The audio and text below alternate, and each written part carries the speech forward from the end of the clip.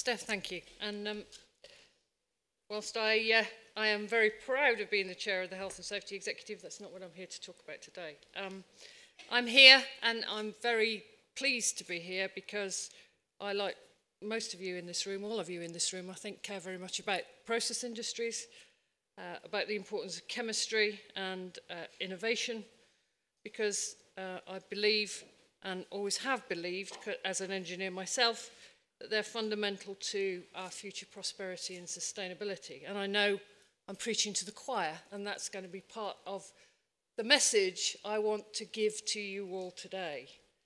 Um, because when Nigel rang me just over a year ago and said, um, how do you fancy putting your name forward to be on the board of the high value manufacturing catapult? I jumped at the chance because although I left this industry sector almost a decade ago, um, it's a bit like they say you can take somebody out of something, but you can never take it out of somebody.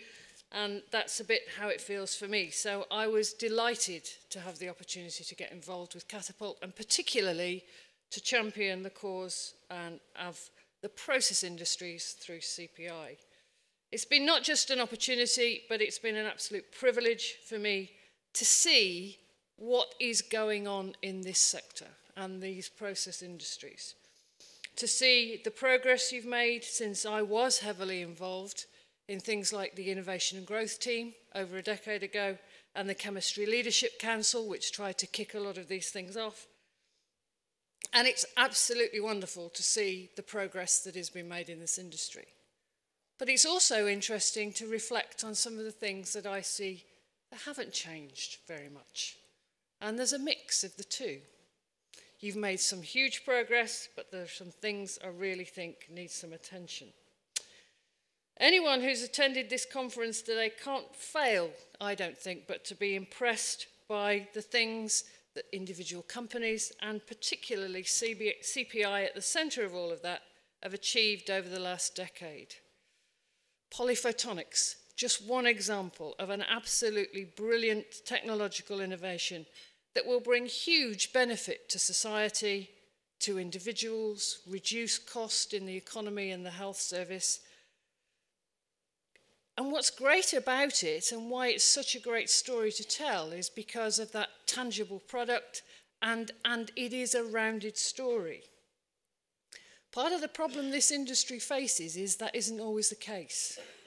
Some of the other things we've heard about, it's like there's a magic ingredient there somewhere that makes an end product and people see the end product. And that's part of the challenge I think this industry faces in terms of explaining what it does and where it fits and that huge benefit that it brings to society.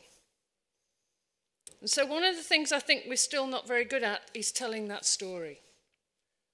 Not to the people in this room, because we're pretty good at talking to ourselves. I spent 12 months as the president of IChemE saying exactly that. We've got to stop talking to ourselves and find a way of telling the story of what we do and how good we are, and it doesn't come naturally to any of us in this room. So, how are we going to do it? Well, I think we need some help. I had another experience recently where, uh, as part of my uh, involvement with the Royal Academy of Engineering, I got involved in a study with Sue Ion and others looking at the full extent of the universe of engineering, how it's expanding, how it's changing, how much more we need interdisciplinary people, how much more the disciplines are merging, and, and clearly that's come through again today. Um, we also as part of that exercise of looking at the universe of engineering, decided, and we've seen some examples here today, of um, engineers trying to come up with a definition of what it is we're doing. And don't we fall over ourselves when we do it. We got into some incredible language about, well, what we do is create artifacts. And then we talked about the appliance of science and knowledge to processes. And you stop and think, how are we going to tell this to people we want to inspire? To join and become part of what we're doing. All of those young people that we need to come in to bridge that skills gap. all of those teachers that Trevor referred to earlier that we'd like to have here in this room. I'm sorry, guys, but it would have been unintelligible to most of them because we're good at talking to ourselves, but explaining it to others is not our strength. The Universe of Engineering eventually turned to the BBC and found a definition in the BBC archives of what engineers actually do. And it was remarkably simple. It said that engineers use science to create the world we live in. Full stop. End of the sentence. No ifs, no ands, no buts, no qualifications. It was incredibly simple. I think we need some of those people from the BBC to help us to explain what we do and what our contribution is to society and tell some of those exciting stories we've been hearing today to a much broader audience.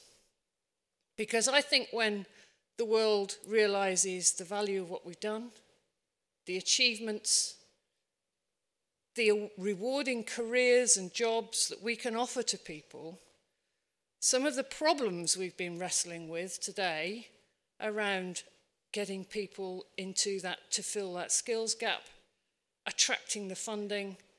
If we get better at telling our story, some of those problems, challenges, whatever word you want to use, will diminish.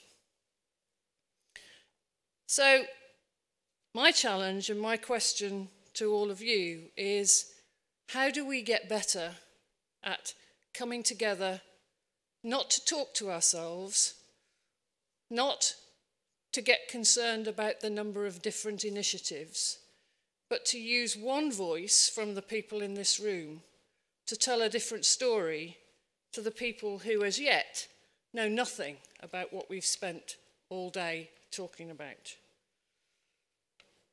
We talk about innovation as being technology translation. There's two aspects to translation, in my view. One is translating research and development into commercial products, which is what we've been talking about today. But the other form of translation is about getting our message across, telling this exciting story to others. That, I think, is my contribution today to say, as someone who was, and in some places still is, part of this industry, I have found today quite literally inspiring.